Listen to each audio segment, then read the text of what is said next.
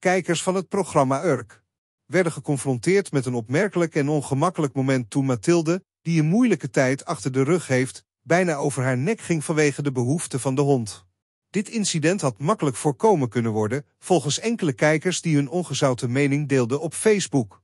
Het ongemak ontstond toen de hond van de familie dringend naar buiten moest. Het was echter al te laat en Jannie merkte op dat Mathilde in haar broek had gepoept. Geschokt door de geur rende Mathilde kokhalzend naar de wasbak, terwijl ze lachend aangaf dat ze ook in haar broek plast. De kijkers schrokken van dit fragment en uitten hun bezorgdheid op sociale media.